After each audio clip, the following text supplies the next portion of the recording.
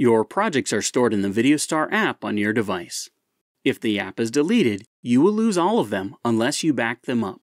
In this video, we'll take a look at how to easily back up projects to a computer. Connect your device to a Mac with a USB cable. Open the Finder and click on the device in the sidebar. Click Files and the VideoStar arrow to show the projects.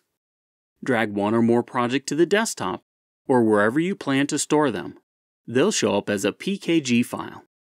To send a project back to VideoStar, drag and drop it onto the VideoStar icon.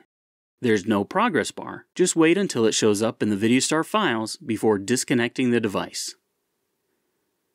To use a Windows machine, first download and install iTunes. Once iTunes is running, connect your device and select it. Go to File Sharing, click VideoStar, then choose Projects to Backup, and save to your computer. To send projects back to VideoStar, connect the device and find VideoStar in iTunes. Once you have found your project files, just drag them into VideoStar's documents.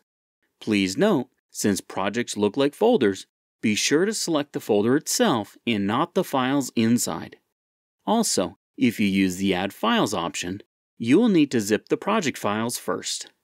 To learn more about backing up projects to a cloud service, check out our Backing Up Projects tutorial.